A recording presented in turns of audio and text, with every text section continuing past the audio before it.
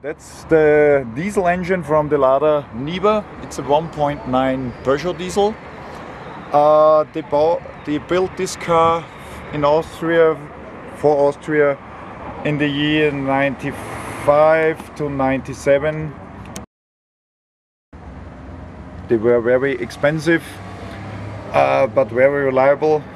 Uh, it's a manual. You have no electronic or anything. Uh, driving with it, it is very cheap. The working on it, it's very simple. You can see everything, you can fix it on your way. And for the winter, I put in a Webasto heater. Uh, it started about 20 degrees below zero, it's no problem, but with the heater, it's better for the engine for a long life. And you can see you have to fix some parts. You don't get parts for the diesel uh, Niva engine. All was special for the Niva. You can't get it. It's 20 years ago, so you have to imp improvise uh, for the cooling systems. The hoses, they getting very old, so you have to put in now some special parts where you can get it fixed. Other the, the, the for the engine the parts that's no problem. That's all Peugeot. It's very cheap sometimes and you can get anything but the special parts for Niva very difficult to get. You have to strip a car for parts. You if you need a clutch or the freewheel you have to strip an old and rusty car.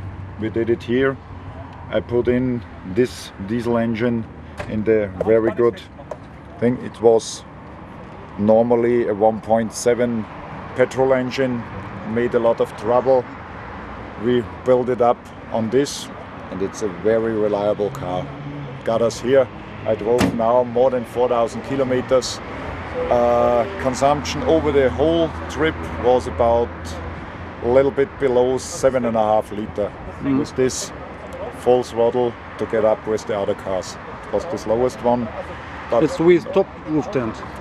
Um, with top, top roof tent. It's top roof tent. It's, it's, for the wind. It's not that good. We are two two people in there. A lot of stuff with us. It's very heavy. So when it's running, it's running good. But on mountains, he can find any mountain. If it's very, you can't see it, the car will find the mountain. Yeah. But no problem. It, it, it gets you up drives very reliable car. In the woods, never seen salt, no rust. I only uh, I repainted the axles, front suspension. Everything else is original. What the reason is no rust? What is the reason? Why no rust? Just only driving in the woods, never on streets. Only in the woods. We had it, uh, hunters at this car It was inside, all broken. The seats, the dashboard, everything. Everything out of all broken.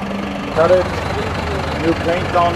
Uh, it's like inside, well, for stones and stones hit it, it's more. It's all original, no rust. These were always in. So that was a perfect car, very cheap and for about